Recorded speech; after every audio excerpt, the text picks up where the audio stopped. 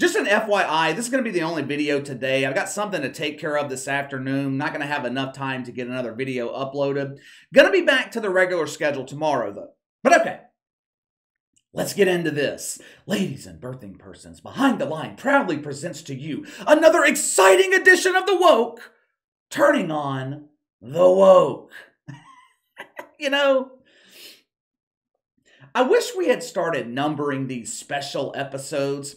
This feels like, I don't know, it feels like at least the 20th time this year where the Wanker Spankers target one of their own and go from pleasure spanking to punishment spanking. Now, I am sure most of you guys don't remember Jerry Sullivan. You would have no reason to remember him. He's just another irrelevant bum in the media. I would not even classify him as being part of the mainstream media. Jerry Sullivan, he has spent most of his career working for local outlets in upstate New York. The only reason I recognized his name this morning in the headlines, I did a video on him around the same time last year. Let me show you the type of journalist Jerry Sullivan is. I struggle to even call him a journalist. Jerry Sullivan is one of those untalented writers who tries to poke professional athletes. He tries to bait players into an exchange just so he can bring attention onto himself because he can't get attention or recognition based on his talent alone. Last year, the Bills lost to the Patriots on Monday Night Football in a game where Mac Jones only threw three passes. Bills defense held New England to 14 points. Now, in the modern NFL, your defense holds your opponent to 14 points, you expect to win that game. The Bills lost. After the game, a couple of the Bills players, they addressed the media.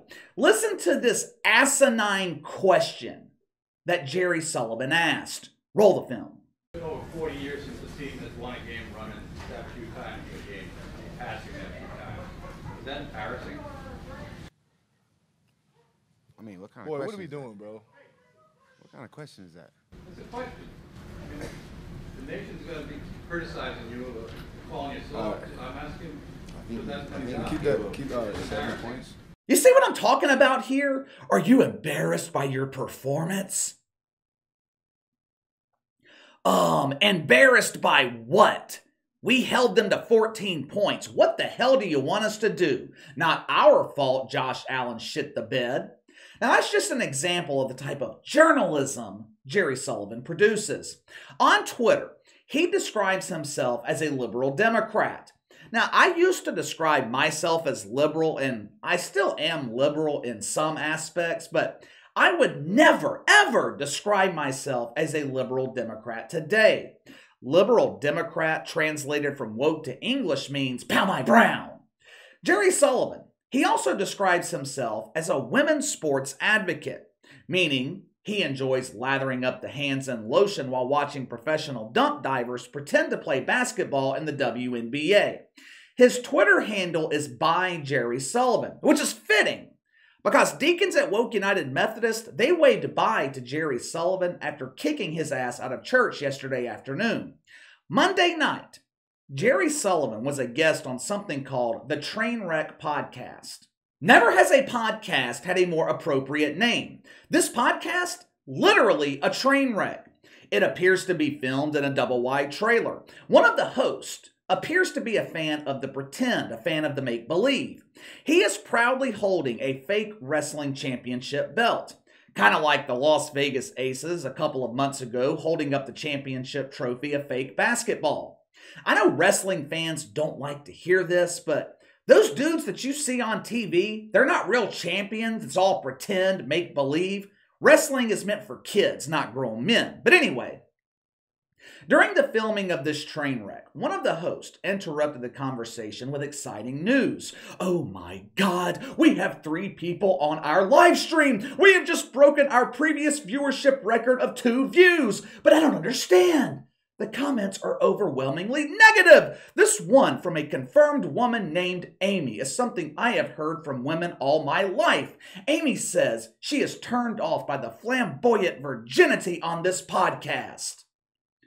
Now, I am not sure what the conversation was about leading up to this clip. I am assuming they were talking about women who like sports.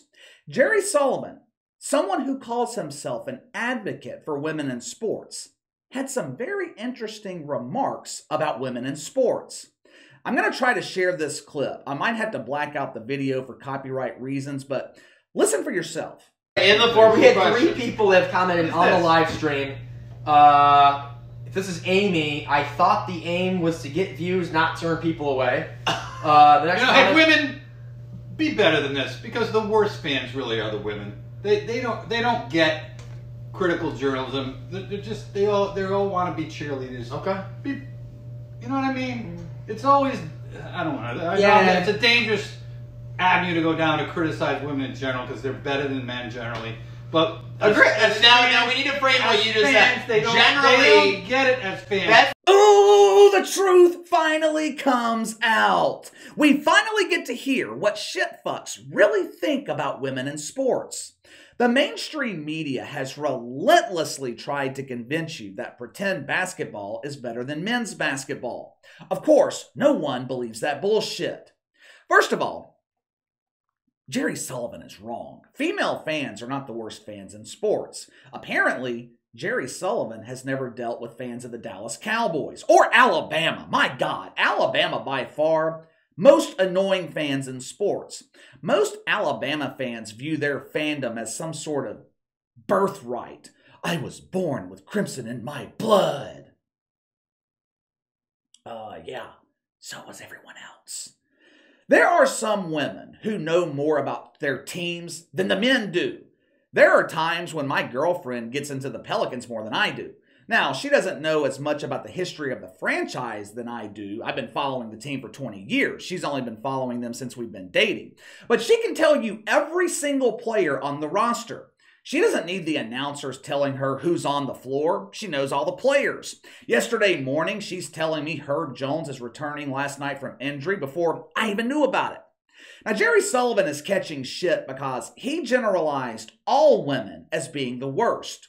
What he should have said was female journalist or analyst in sports media are the worst.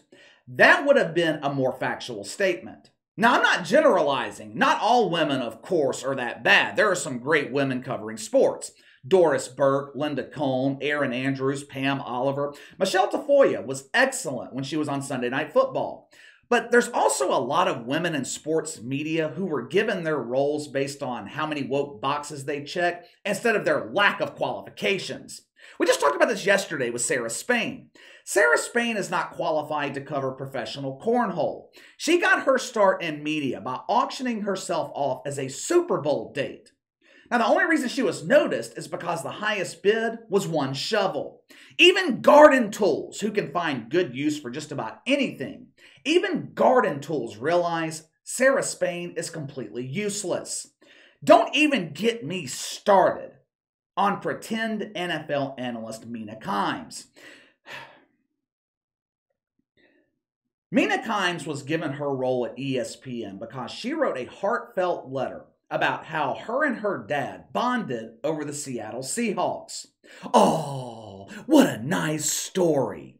Millions of dudes, they bond with their dads every Sunday talking on the phone about the weather. Does that make them meteorologists? Every day on our walks, our dog forms a bond with the freshest turd pile. Does that make Chew a professional WNBA dump diver? No and no. It's great that Mina Kimes bonded with her father over the NFL. That doesn't mean she's qualified to analyze the league. I don't take stock advice from the penny traders sitting in Starbucks, and I don't listen to NFL analysis from someone wearing stilettos. Malika Andrews, Elle Duncan, Jemele Hill. Hell, at one point, Tiffer the bongo sniffer was pretending to be a sports expert. And I can't forget the woman who perfectly exploited her race and gender for her position in sports media. Maria Taylor. The same Maria Taylor who forgot Anthony Davis played in the NBA. This woman was so talented. ESPN had her covering low level college football for years. All of a sudden, ESPN becomes infected with the woke fungus. Maria Taylor is elevated covering the NBA Finals. She's given a vote for NBA Player Awards. She is casting votes in a league she knows absolutely nothing about. She destroyed the career of Rachel Nichols so NBC would pay her millions of dollars to be the worst host in the history of Sunday Night Football. And you know what? The media celebrated her for it. Now, these are just a few examples of women in sports media. You want me to keep going? Dominique Foxworth, Katie Nolan, Michelle Beadle, Cari Champion, Shay Shay Sharpe. I'm just kidding, Shay. I can't put Shannon Sharpe on the same level as someone like Sarah Spain. Well, KC, you also said Dominique Foxworth. He is a man, not a woman. Oh, yeah? Oh, yeah? Has that been confirmed by a biologist? The only thing confirmed about Dominique Foxworth is his status as a grade A shit fuck. There is one thing with this whole Jerry Sullivan controversy that bothered me, and it had nothing to do with what he said. I don't agree with his comments, but I am rarely, if ever, bothered by words, especially when those words are coming from a fuck knuckle. Jerry Sullivan is an independent journalist. He was a contributor for the Niagara Gazette, local affiliate WIVB TV in upstate New York, and something called the Lockport Union Sun and Journal. None of these are what I would call esteemed jobs, but it will still work, kept the lights on. All three of these media outlets fired Jerry Sullivan yesterday. All three of them. Not one had the balls to withstand the backlash. This story would have blown over in 48 hours. By tomorrow afternoon, these comments from Jerry Sullivan, they would have been forgotten. Now, was he wrong in what he said? Sure. Did he deserve to be fired three times in the same day? No. But KC, these companies have the right not to associate themselves with a misogynist. That is true. That is true. But the guy made a mistake. He made one mistake. He expressed how he felt. When are we going to stop penalizing people for expressing their thoughts? Now, you don't have to agree with Jerry Sullivan, but that doesn't mean he should be fired for what he thinks or believes. All it takes is one mistake, and they want to eliminate your entire career. I looked up some of his articles. Jerry Sullivan does highlight female athletes. Just last month, he wrote a piece on a female soccer goalie playing at the University of Buffalo. Now, outside of her friends and family, how many people cared? Probably none. Jerry Sullivan, he highlighted her anyway, knowing that it was not going to get the same traffic as articles that he writes on Josh Allen and the Bills. Now, look, I'm not trying to defend the guy, but he didn't deserve to lose three jobs in one day because he spoke his mind. You should be able to express your mind without consequence. Well, within reason, of course, but these companies are so afraid of the backlash from a handful of wanker spankers. None of them will stand up to them. Give me your thoughts. Jerry Sullivan claims women worst fans in sports. Do you agree with him? Should he have been fired over his remarks? Let me know. Sound off in the comments below. Make sure to like and subscribe. Click the notification bell to receive all notifications from the channel. Best way to contact me is by email at btlkc84 at gmail.com, kc underscore btl84 on Twitter. I'll see you guys tomorrow.